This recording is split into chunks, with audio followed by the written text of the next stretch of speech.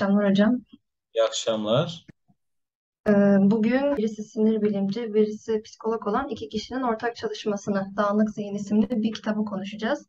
Ee, Yüksek teknoloji dünyasında dağınık zihinler alt başlığında dağınık zihin ve dikkat dağınıklığı meselesini bir sinir bilimcinin ve teknolojinin psikolojisiyle ilgilenen bir psikoloğun ortak e, gerçekleştirdiği bir çalışma aslında konu ediniliyor.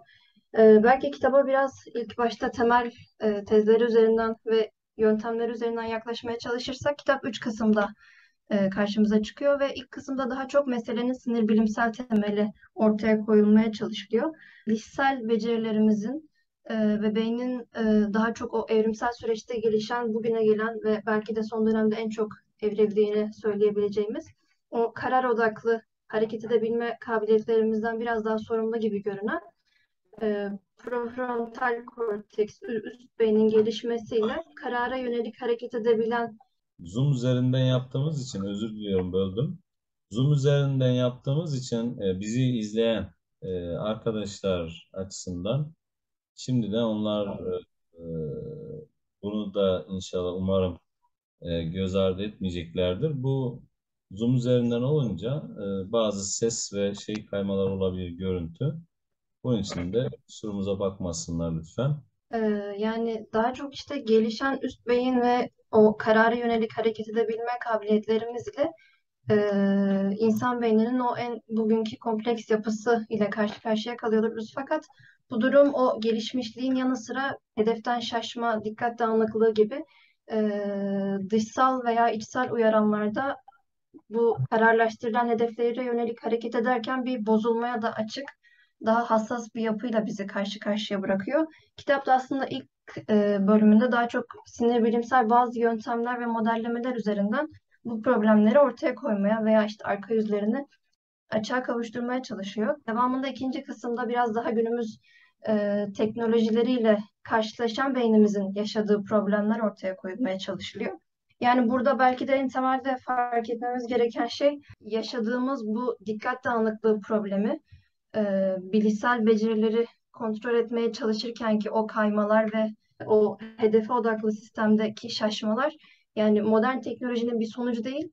Aslında zaten buna müsait olan o kadim beyinlerimizin kitabın başlığından da belki anlayacağımız üzere e, teknoloji ile karşılaşması sonucunda belki dağınık olanın daha da dağılması veya işte buna müsait olanın e, yaşadığı bir durum olarak karşımıza çıkıyor. Son kısımda da biraz daha pratik odaklı belki işte beynin plastisitesinden veya işte bazı davranış kalıpları üzerinden e, kitabın kendi çizdiği kavramsal çerçevelerle bir takım örnekler üzerinden e, yol haritaları veya işte takınabileceğimiz tavırlar, bu yaşadığımız problemlere karşı geliştirebileceğimiz bir takım yollar açılmaya çalışılıyor. Genel olarak kitabın e, böyle bir yol haritası izlediğini söyleyebiliriz.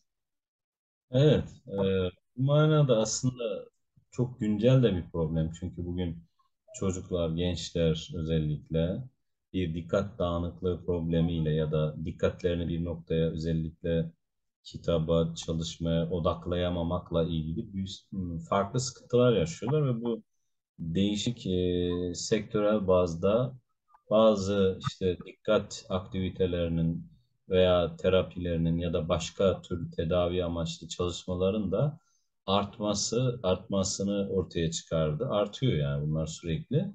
Çevremizde görüyoruz. görüyoruz. İşte e, oğlum, kızım ya da işte e, abim, kardeşim gibi e, bazı cümlelerle başlıyor. Dikkat dağınıklığı yaşıyor, ilaç kullanıyor. İşte sürekli şu alışmaları, çalışmaları yapıyor, aktiviteleri yapıyor gibi. Bunlar e, bu kitabın da belirttiğin anlamda Dağınık Zihin kitabının içeriğini oluşturuyor. Aslında direkt e, deneysel anlamda çalışmalarla desteklenen e, görüşler. E, bu manada bizim tek teknoloji e, teknolojiyle karşılaşmamız, bunun elimizin altına gelmesi cep telefonlarıyla çok farklı programlarla bir taraftan işte e, Instagram, Twitter, YouTube gibi bir taraftan farklı işte hafızayı, bizim hafızayı veya bilişsel faaliyetler ya da dikkatle ilgili durumlarımızı direkt etkileyecek olan bu teknolojik aletler, teknolojik ürünlerin bizim hayat ne gibi değişiklikler gibi soru ve hep e, güncel konuda. E, insan her şeyin e, kendi açısından çözümünü de aramaya çalışan birisi ve bu bu yönüyle bir problem eğer tespit edilirse bu konuda ya da işte tespit edilmişse önceden bunların e, bir toparlayıcılık içerisinde bir kitapta top olması, Dağınık Zihin kitabında olması bir yönüyle şans. Sadece bunu bu işle uğraşanın e, üzerinde bırakmak zor bir şey. Bunu aslında bir yönüyle düşünme, öğrenme, hıfz etme, dikkat etme bir şey gibi bunu hepimiz yaşıyoruz. İlla bir yere gidip de tedavi ya da çalışma amaçlı etkinliklere katılmamız gerekmeyebilir. Bunu bir toparlayıcı bir eserse eğer bu ki bunu konuşacağız bu akşam herhalde. Buradan ne kadar biz istifade edebiliriz bu kitaptan? Bu kitap bize nasıl yol gösterir? Dikkatle ilgili süreçlerde, hedef koymayla ilgili işlem, hani bu bilgi işleme süreçleri ilgili, hafızamızla ilgili nasıl ön, durumlarda, e, durumlarla ya da daha doğrusu karşılaştığımızı gösterebilir mi? Hani sen de okudun, ben de okudum. Bu kitapla ilgili neler söyleyebiliriz? Yani bu sorun güncel aslında. Kitabın da sen içeriğinden genel manada bahsettin. Bu sorunun güncelliği ve direkt insanla, insanın en yüksek mekanizması merkezi sinir sistemi, beyin ve onun işlevleri, fonksiyonları olsa gerek ve bu fonksiyonlar üzerinden hayatı direkt etkileyen, hani hepimiz hayatta kendimize göre bir aktörüz ve bu yaşadığımız süreçte, yaşadığımız yaşantılarda hem bilişsel durumlarımızın, hem hafıza durumlarımızın, hem de e, motor hareketlerimizin, hem de e, bir sürü yön bizi etkileyen durumları yöneten bir mekanizma, mekanizma ve bu zihni etkileyen yüksek teknoloji karşılaşmasında dikkatin e, dağınık olması ya da işte beynin diğer fonksiyonlarının problemlerinin konuşulması gerektiği ya da bunun tartışıldığı bir zeminin olması gerekir. Biraz uzatacağım ama uzattım herhalde ama şimdi bir şey daha söyleyip sözü sana devretmek isterim. Hani burada bir nokta daha var ki o da şu bununla ilgili konuşan, söylenen çok, çok insan var. Hani en basitinden şöyle diyenler de var. Ya biz teknoloji bu zihnimiz öldürüyor. Cep telefonu hafızayı öldürüyor. Ha, hep olumsuz yönden bahsedenler var. O zaman bunlardan uzak kalsak acaba hep bizim için daha iyi mi olacak bu bilişsel ya da zihinsel fonksiyonlarımız, işlevlerimizi kullanmamız, hayat kalitemiz daha mı artacak ki bunları hayatımızdan çıkarırsak ya da hayatımızdan hiç çıkarmasak e, bildiğimiz gibi yaşamaya devam etsek daha mı iyi olacak ki bu tartışma zemini var zaten. Yani herkes bunu yeri geldiğinde gündelik hayatında ne yapıyor? Konuşuyor değil mi? Yani ben çok duyuyorum mesela bu cep telefonu bizi öldürdü, mahvetti veya işte şu programlar çocuğumun beynini öldürdü, kızımın, oğlumun işte şöyle çalışmasını öldürdü. Cep telefonu ona vermiyoruz hiçbir zaman. Çocuk bu sefer ondan istiyor çünkü yaşıtlar onu kullanıyor. Veya işte sosyal medya kullanımına kısıtlamalar, internet kullanımına kısıtlamalar getiriliyor, getirilmiyor. Getirenlerin iddiaları var, getirmeyenlerin işte bu kısıtlamaları yapanların, yapmayanların o iddialarını karşılaşması ve bunun bilimsel, rasyonel bir zeminde tartışılması gerektiği kanaatindeyim. Evet, bu konuda kitap üzerinde neler söyleyebiliriz? Bu akşam herhalde bunu biraz devam ettireceğiz. Evet. Zannedersem. Tam detaylı girmeden aklıma bir de şey geldi. Ee, Yine kitabın içerisinde geçen bir kısımdı. Yani bu teknoloji dünyasındaki gerçekleşen atılımların bugün biyoloji ve tıpla da daha entegre bir şekilde hayatımıza karışmasıyla hani o zaman Sen, yani sadece işte yanı başımızda bırak hani sen bir tıp evet öğrencisi olarak da, tıpta okuyan bir öğrenci olarak da herhalde bunu geleceğim tıpla uğraşan bir bilim insanı olarak e, olacaksın.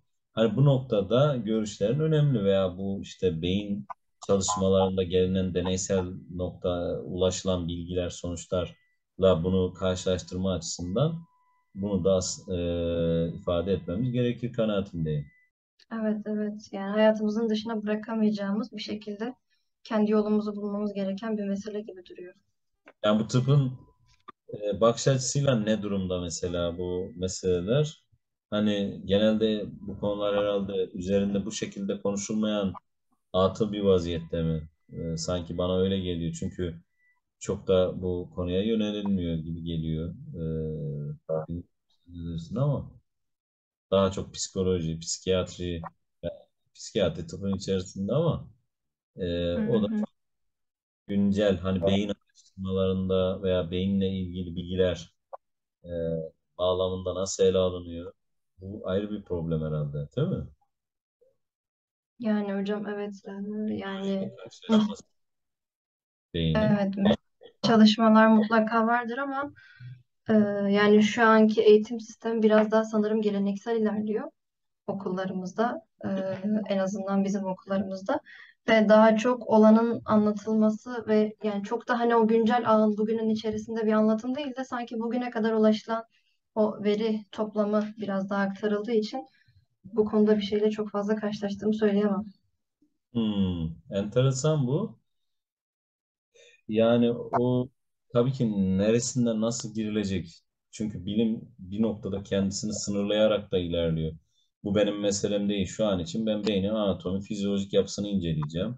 O zaman anatomisi şudur, fizyolojisi budur, beynin bölgelerinde şunlar şunlar, beynin bölgesi de budur, görevleri budur şeklinde bir sınırlama da aslında gerekiyor çünkü öğrenme anlamında ama onun üstünde düşünme ile alakalı e, dediğimizde bunu sanki bu yazarların yaptığı gibi belki o deneylere spesifik psikolojik deneylere ya da işte psikiyatrik çalışmalara falan mı bırakıyor? E, klinik vaka, deh vakası ya da işte ileri yaşlarda ortaya çıkan Alzheimer ve bunun teknolojik aletlerle ilişkisi bilmiyorum. Değişik bu klinik vakalarla da irtibatı bu kitapta hani bir bölümünde var ya onunla ilgili de e, tıp bilimi bize neler söylüyor bilmiyorum tabii.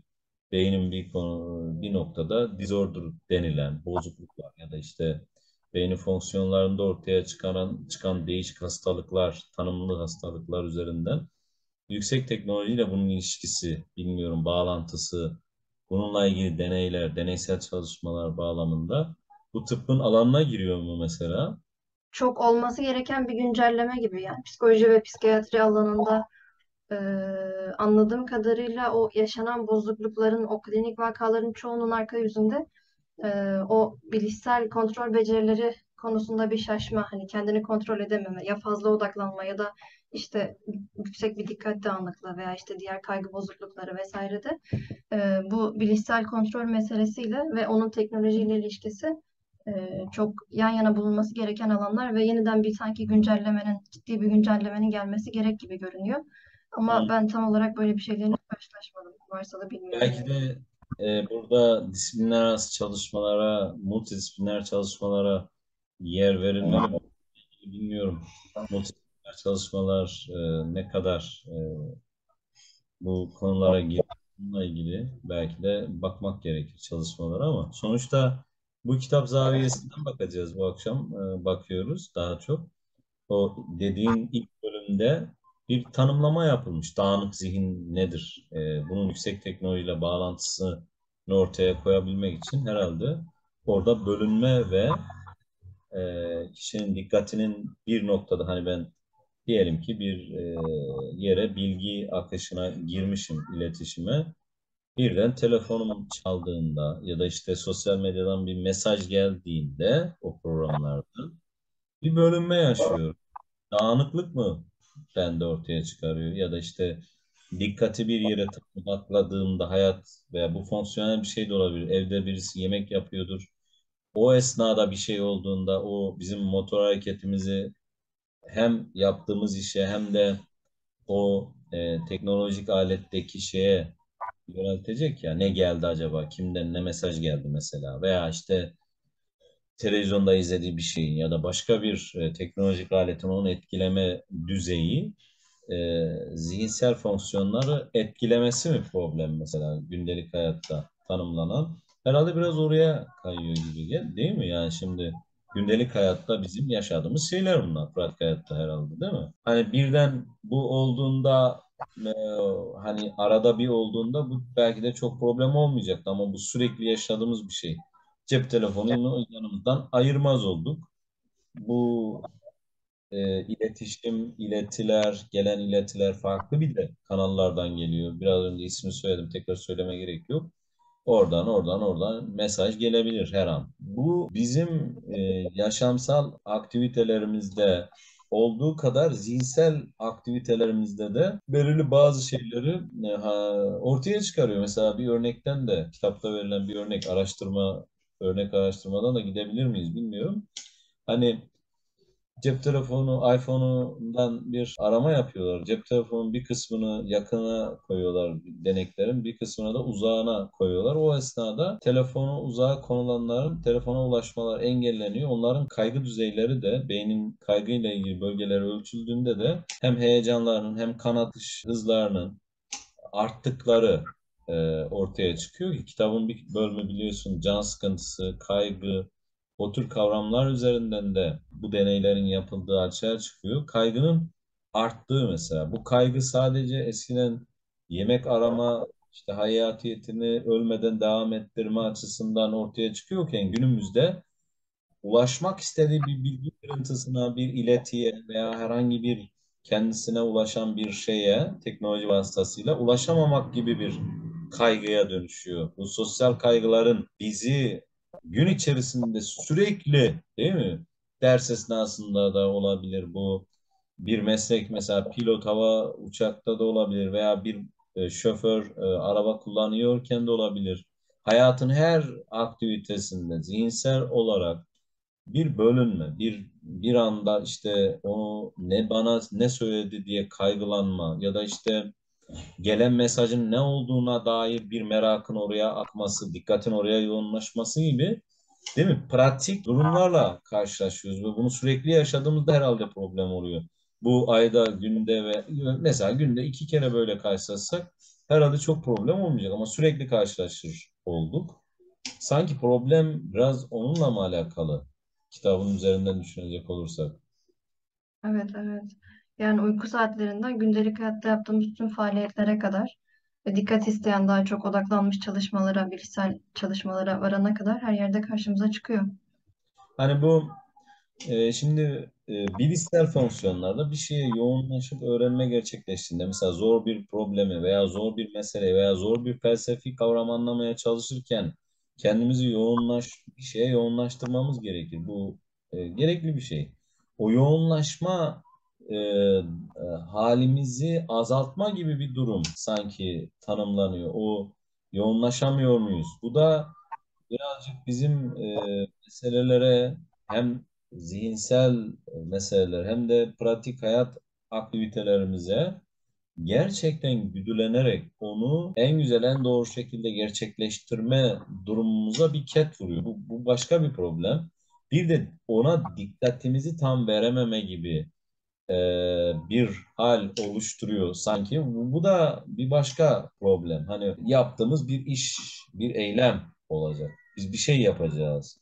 Ya da bir şeyi düşüneceğiz ya da bir şeyi öğreneceğiz değil mi? Bir tüm bunlarda e, dikkatin spot ışığını bir şeye yoğunlaştırmamız gerekecek. Zaten dikkat dediğimiz şey spot ışığı gibi düşünsek hani bazı bilim insanları örneği oradan veriyorlar ya bu kitapta da vardı herhalde yanlış hatırlamıyorsam. O spot ışığının nereye yoğunlaştığı? E, bir üniversite öğrencilerinin olduğu bir deneyde üniversite öğrencileri bir ortama konulduğunda dikkatlerini sadece işte ortalama 19 saniye bir şeye yoğunlaştırdıkları e, sürekli o te- teknolojik aletlerinden birinden diğerine ekrandan başka bir ekrana geçiş yaptıkları hani değişik saptamalar var ya bu kitapta bunun sürekli arttığına dair veriler var. Bu bununla birlikte şu da var değil mi e, kitapta? Hani bilgisayar oyunları oynayan çocukların bilgisayar oyunları vasıtasıyla dikkatini o oyuna verme o, odaklanmayı da güçlendirdiğine dair veriler var. Hem e, her zaman şunu söylemez miyiz ya da duymaz mıyız insanlardan? Yani e, bir çocukların elinde bilgisayar oyunları olduğunda onu alın, vermeyin, dikkati dağılıyor, hiçbir şey öğrenemiyor gibi. Ama bazı verilerde bunun tersini söylüyor. O çocukların e, bilgisayar oyunları e, biraz da dikkatlerini bir şeye toparlamaları ve belirli bir izlekte o dikkat izleyi e, üzerinden hani e, o sürekliliği sağlamalarına, bir iş üzerine sürekliliği sağlamalarına, o oyunu devam ettirmelerine yönelik olumlu sonuçlar doğurduğuna dair de değil mi bir çalışma vardı hatırlarsan kitap. Hani bunun üzerinde ne söylememiz gerekir? O zaman iki uçlu bir durumla sanki karşı karşıyayız. Bir tarafı olumlu avantajlı durumlar teknoloji çünkü her şeyi hatırlayamıyoruz. 3 saniyede Google'dan pat ulaşabiliriz. Biz bir zaman işte bunu kitaplarda aradığımızda hani unutma dersek kitaplarda aradığımız bilgide de unutma olayı oluyor. Yani e, bu unutmamayı da getirebilir. Tersinden bakacak olursak. Sürekli üç defa baksam aynı bilgiyi unutmuyorum bir daha mesela. E, sosyal medya ve internet üzerinden ulaş, ulaştığım eğer kaliteli bir bilgi ise ulaştığım şey ve ben o metotları da kullanıyorsam mesela internet üzerinden sanki onun olumlu katkılarını da göz ardı edemeyecekmişiz gibi. Bu yüksek teknoloji e, dünyasında bizim eski beynimizle, eski tırnak içinde yani eski genetik bazı şeylerle, eğilimlerle geliyor oluşumuzun bize sağladığı dezavantajlı, olumsuz durumları elbette ki göz ardı e, etmemeliyiz ama bu olumlu olan ve bizi o noktada geliştirecek olan şeyleri de sanki göz ardı etmememiz gerektiği gibi bir yol e, haritası çizmemiz lazım. Hani okuyan ya da bu kitabı düşünen e, insanlar ya da bu meselelerle bu meseleleri aşılan olan insanlar için e, tek yönlü bir bakış açısı da sanki sıkıntı doğurur gibi. Bilmiyorum sen ne düşünürsün bu konuda? Evet, zaten hocam hayatlarımızdan çıkarmak gibi bir e, yol izlemeyeceksek e, bu tarz yaklaşımların da mutlaka geliştirilmesi gerekir yani. Mustafa Kutlu e, beyefendinin hikayelerine bakacak olursak tamamen bu teknolojik şeyler hayatımızdan çıkarsak doğaya dönsek sanki daha iyi olacağız e, gibi bir şey var. Ya da işte başka yazarlar. Belki, isim vermesem daha iyiydi ama bir sürü isim sayabiliriz insanlar. Böyle bir bir grup insan da var. Bu teknolojinin bizi her yönden, beyin işlevleri yönden de düşünme, anı, bellek, hafıza, değil mi? Dikkat, her yönden e, olumsuz etkilediği yönde görüşler de var. Ama yapılan deneyler, bu kitapta verilen bazı bilgilerde bunun tersini söyleme yönde ya da biz bunu yönetmeyi bilirsek, hani bazen söylüyor ya yazarlar, biz e, denetimi, davranıştaki kontrolleri, yüksek e, beyin e, fonksiyonlarını, bilişsel fonksiyonları mesela onları e, daha iyi kullanabilsek, yüksek teknolojik ürünlerle birlikte e, entegrasyona sokabilsek belki olumlu sonuçlar olacak gibi bir e, bilmiyorum kitaptan öyle bir beynimde sonuçta kalmış zihnimde. Bu konuda da bir açıklama ya da işte değerlendirme yapabiliriz. Buyur. Hocam zaten e, yani kitabın da bence ön yaklaşımlarından birisiydi. Yani bu yaşadığımız süreç ve beynimiz dinamik bir sürece tabi. O yüzden şu an yaşadıklarımızı yaşamamış gibi ya da her şeyi başa döndürecek şekilde e, bunları hayatlarımızdan çıkaralım gibi böyle radikal çözümlerle çözebileceğimiz bir problemle karşı karşıya değiliz. Kaldı ki bence tam olarak problem diye adlandırmak da çok doğru kaçmıyor. Yani hayatlarımızın içerisinde e, onlarla birlikte yol alabilecek bir yolu bulmak ki yani başta da söylediğim gibi sadece bence bu e, işte telefondan sosyal medyaya bakmak veya bakmamak gibi basit bir problemde kalmayıp hani e, direkt işte yani henüz şu an tam olarak yakın olmasak da işte beyinle daha entegre teknolojik sistemlerin ortak çalıştığı işte çip teknolojileri vesaire gibi hani şu an belki hafızamızı işte Google arama motorları, bulut sistemleri vesaire üzerinden hafıza meselesini tartışıyor olsak da hani ileri dönemlerde bu şekilde direkt hani bedenle de irtibatlı, beyinle direkt irtibatlı bir şekilde bu meseleyi yani dışarıda bırakma şansımız olmadan da yaşıyor olabiliriz. Ee, dediğiniz gibi yani ben de benzer kanaatteyim. Diğer türlü yaklaşımlar aslında biraz basite kaçmak ve çok ütopik oluyor. Zaten gerçekçi de değil. Ee, Evet. bütün için de hiç geçerli. Belki birkaç kişi için.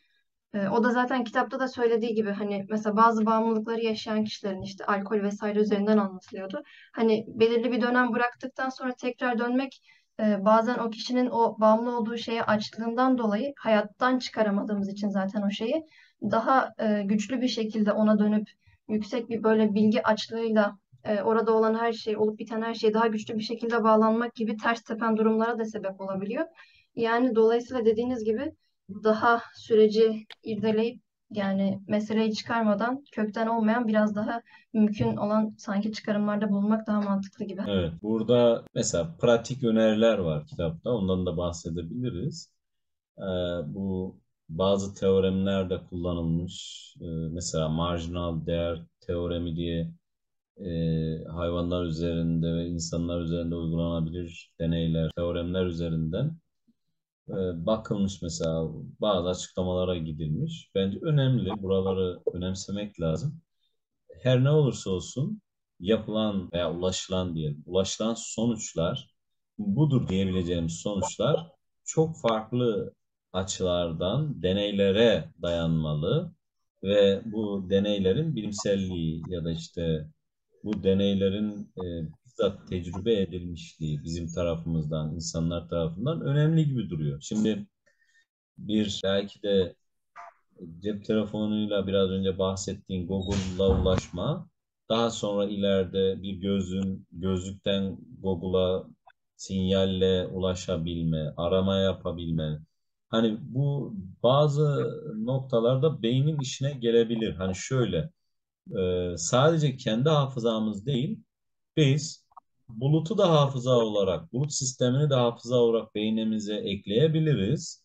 Burada bizim için avantajlı konumu ya da insan için yaşamsal olarak olumlu olan şeyi, tüm yaşamsallığı da düşünerek hmm, kriter olarak ilerleyebiliriz. Hani bunun da gündeme getirilmesi kanaatindeyim. Hani insan için iyi olan, daha iyi olan ve daha daha iyi olanın sonunun gelmeyeceği ve bu e, ucu açık olması gerektiği noktası da göz ardı edilmemeli. Bizim öğrendiğimiz iyiler aslında ondan daha iyisi de var ve biz o daha iyiye geçişimiz e, sağlanacaksa bu belki de yüksek teknoloji taraftarlığı ya da düşmanlığı bağlamında ele alınmaması gereken bir durumu da bize salık vermiyor mu? Yani bence veriyor. Hani bu e, tek taraflı bakış açısıyla ele alınmayacak bir mesele. Hani insan için iyi olan ama ama burada belki de başka kriterlerin de katılması lazım. Yaşam için iyi olan ve tüm canlılar için iyi olan hani bu bağlam nasıl bir bizi birlikteliğe ya da evrenselliğe götürüyorsa ama bir taraftan da birey olarak insanın işini daha da kolaylaştıracak olan ve daha iyi yaşama götürecek olan e, yönleri de belki de davet etmeli. Şöyle, şimdi biz e, beyin temelli öğrenme e, sisteminde veya bu tür işte yaklaşımlı olan kitaplara baktığımızda e, şundan karşılaşıyoruz. Şimdi biz her şeyi e, ezberlememiz gerekmiyor. Çünkü biz bilgiye anlık ulaşabiliyoruz. O zaman bilgiyi de artışı söz konusu. Çok fazla artıyor ve sürekli bilgi değişiyor. Şimdi bu değişen, sürekli artan bilgide benim bunu yakalayıp ezberlemem mi daha iyi? Yoksa o bilginin organizasyonu, bilginin verileriyle birlikte işlenmesi, onun organize edilmesi ve o bilginin o bilginin üzerine benim ya da bir insanın e, kendi yorumu, düşüncesini katarak o bilgiyi daha ileriye taşıması ya da işte yeni bir bulguya, bilgiye doğru adım atması mı daha iyi? Muhtemelen ikincisi daha iyidir. Hani kitapta tartışılan noktalardan biri de bilgiye hızlı ulaşabilme meselesiydi ya hatırlarsan. Orada zannedersem e, bu hızın ne için ve nasıl olduğuyla alakalı da bir belki yaklaşım geliştirebiliriz. Bu bizim direkt bir bilimin e, bu tür meselelerde deneysel araştırma yapmadığımız için bizim üzerine düşündüğümüz bir mesele olduğu için bu hani e, şu an için bunlar aklıma geliyor. Şimdi burada herhalde e, olması gereken o bilgide bilgi epistemolojik belki dönüşümü sağlamak. Hani o bilgiye yaklaşım, bilgi ve değer ilişkisi, bilginin enformasyon yönü tüm bunlarla ilgili bir epistemoloji geliştirmek bilgi yorum, bilgi tasarım mesela. Tasarım çok daha önemli hale geldi günümüz epistemolojisinde. Tüm bunları e, yeniden ele almamız gerektiği, bilgi felsefecilerine belki biraz iş düşüyor. e, burada köklü değişiklikler yapmak gerekiyor gibi. Hani bu öğretim sistemini de değiştirecek ve üniversite sistemini, okullar sistemini değiştirecek köklü adımlar gerektirir. Çünkü yeni gelen dijital e, nesil şunu kabul etmeyecek çoğunluk muhtemelen. Hani bir kısım bunu yapıyordur muhtemelen anne baba öğretmen okul çevresi falan. Ya işte teknolojiyle çok tanıştırmayalım. İşte Google'u kuran da teknolojiyle çocuğunu tanıştırmıyor. Hani haberler hep var ya sosyal medyada. Büyük teknoloji şirketlerinin çocukları çamurdan okullarla yerlerde sürünerek okuyorlar falan. Ben bunlar biraz abartılı yorumlar gibi geliyor. Olabilir de yani bilmiyorum araştırmadım ben ama sonuçta yaşadığımız dünyada bunlar hayatın içinde bir gerçek. Burada en yüksek verimli kitabın ana belki de önemli noktası izleyi ya da leitmotifi en yüksek insan için verim iyi olan, doğru olan neyse onun ortaya çıkarılması ama hayatın gerçekleri içerisinde değişenle birlikte bunu yapmak belki de buradan e, hareket etmemiz gerektiği kanaat oluştu bende. Ne dersin? Evet. Hocam zaten e, mesela artan veriyi düşündüğümüzde e, biraz daha geleneksel eğitim üzerinden düşündüm ben. Biraz daha geleneksel eğitim modelleriyle baktığımızda hani direkt nasıl öğreneceğiz, dikkate dağıtmadan buradaki tamamının kavranması vesaire gibi hani biraz daha aslında klasik yaklaşımlar. Yöntemi değiştirdiğimizde hani veri bir süre sonra tek bir kişinin hepsini zihnine alamayacağı kadar en azından şu anki beyinlerimizle şimdi bir kişinin hepsini içerisine alamayacağı kadar arttığında e, veriyi almaktan ziyade belki bir süre sonra hani dediğiniz gibi işlemek, yönetebilmek, e, kendince değerlendirmek ve bir üst yoruma taşımak belki daha önemli bir pozisyona geçecek. Bu yüzden hani yani bunu şu an nasıl yapabilirimden ziyade yapmam gereken bu mu? Ya da belki başka bir şeye yönelmek, daha fazla ön plana çıkarmak eğitim modellerinde gibi bir yaklaşım sanki bana da daha mantıklı gibi geliyor. Mesela ben bilim üzerinden düşünüyordum biz bir aralar. Yani bu veri giderek artıyor evren hakkında bilgilerimiz artıyor. İşte insan araştırmaları, beyin araştırmaları çok yüksek oranda bir veriyle karşı karşıyayız. Hani bir süre sonra bunları öğrenme şansımız olmayacak bir düzeye gelecek gibi görünüyordu. Yani e, ileri teknolojilerle durumun nasıl olacağı hafıza meselesinin bilmiyorum ama en azından şu anki durumda yani tamamını öğrenmek gibi biraz daha o geleneksel yaklaşımlardan ziyade dediğiniz gibi belki yöntemler değiştirilerek işleme, değerlendirme gibi farklı şeylerin Tabii ki. Verilerin hepsinin toplandığı hafıza devrede mesela bir algoritma oluşturulsa, bir yapay zeka algoritması tüm verileri analiz edip iş bir doktora tezi haline getirebilir onu. Hani dediğiniz kriterleri verirsiniz. Şunları şunları yap. İşte veriler bunlardır. Tüm bilgileri mesela bir konu hakkında yapılmış olan tüm çalışma, tez, şu bunların hepsini verirsiniz o yapay zekaya oluşturduğunuz o veriyi ona ulaştırdığınızda ve ona diyelim ki şunu şunu yapacak şekilde onu örgütlediğinizde, algoritmasını kurduğunuzda, yapacağı şeyi ona görev talimatını düzgün kodladığınızda muhtemelen onu çok kısa bir süre içerisinde yazılı hale getirip önümüze koyacaktır. Yani 6 yıl doktora yapmak anlamı yok. Belki de yapay zekanın o ortaya koyduğu eser mesela bugün yaz, yapılıyor ya doktora tezleri, yüksek lisanslar, çalışmalar. Ona bir insan tasarımı, yaratıcılığıyla ne katabilirim, ne keşfedebilirim? Yapay zekada olmayan bir şeyi katıp onu tez haline belki getirecek bir sistem. Bu benim tabii birazcık e, aklıma geleni söylemek gibi bir şey oldu. Bu detaylı düşünenler vardır mutlaka. Zaten şu an onu detaylı düşünenler geleceğin bilim paradigmasını, üniversitesini, okulunu kuracaklardır. Bilmiyorum bunun dünyanın neresinde kim yapıyor şu anda. E, umarım bizimkiler de yapıyordur. Burada yaşayanlar da yapıyordur. Yani e, yoksa bunu üreten ilk önce olan buna muhtemelen geleceği de belirleyecek. Bu anlamda geleceğin eğitim ve bilim sistemi de kurmuş olacak. Ben bu konuda çok fazla bir şey görmüyorum yaşadığım en azından çerçeve içerisinde ne akademide ne eğitim sistemindeki okullarda bu da e, ufak bir acizane eleştirimiz olarak kalsın diye düşünüyorum. Hani burada konu edilen şeyler e, den bir kısmı hatırlarsan öğrenciler şimdi pandemi döneminde ben şundan ekrandan öğrenemiyorum, yüz yüze daha iyi öğrenen falan gibi basit şeyler üzerinden çıktılar üzerinden rapor öğretmenlerden toplanan şeyler üzerinden gidilmesi doğru değil sadece. Çünkü o yapılan çalışmalar mesela diyelim ki e, açtın öğrenci 10. dakikada dikkati dağılıyor. İşte bu kitap bunu anlatıyor zaten. 19 saniye dikkatini toplayamıyor. Şimdi biz bu tüm teknolojileri ortadan kaldırma imkanımız da yok. İnternet şunu bunu hepsini komple o zaman o 19 saniye e, dikkatini belirli bir yere verebilme e, üzerinden bir eğitim ve bilim modeli nasıl geliştirilebilir? Bunu tasarlayıp e, gündeme getirenler ve bununla ilgili yenilikte öncü olanlar herhalde bunu gerçekleştirecekler. Şu an bununla ilgili bazı şeyler gördük ama Oxford'da işte dersler şöyle işleniyor veya işte e, yapay zekalı sistemlerle 3D'li ortamlarda ya da işte bu farklı boyutların bir araya getirildiği ortamlarda şöyle dersler işleniyor şeklinde.